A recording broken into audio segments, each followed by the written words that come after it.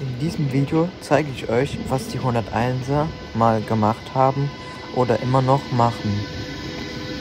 Nun wünsche ich euch viel Spaß beim Anschauen bei diesem Video. Bekannt ist ja die Baureihe 101 für seine Intercities. Okay, dieser Zug, der da gerade vorbeifährt, der zählt zu dem Zeitpunkt als Intercity, weil zu diesem Zeitpunkt es nicht mit dem Munich mit der 101 gab. Diese ist 101 und 104, die vorne dran war und hinten 101 und 85, die hier gerade mit einem Intercity den Stuttgarter Hauptbahnhof verlassen.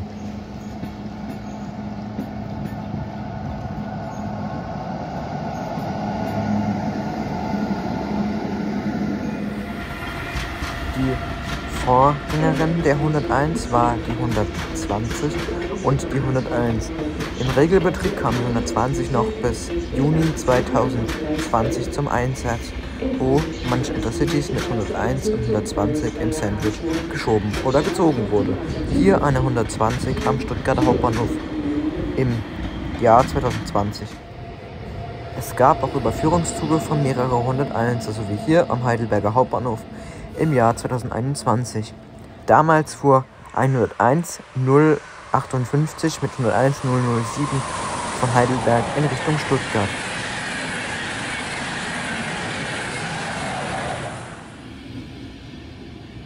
Genauso wie hier, bloß dass das an einem normalen Intercity war, wo die Bahn noch eine zweite 101 hinten dran geklatscht hat.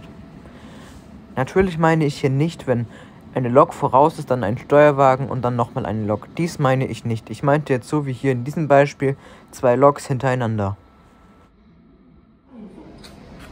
Ebenfalls gibt es auch PBZ-Züge.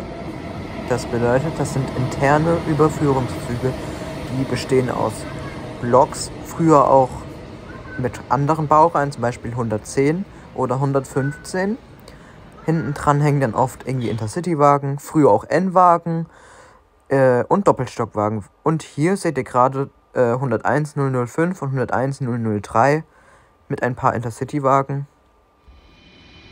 Leider wurden auch schon Loks verschrottet, zum Beispiel 058, 112, 106, 119, 122, 140 und noch ein paar andere.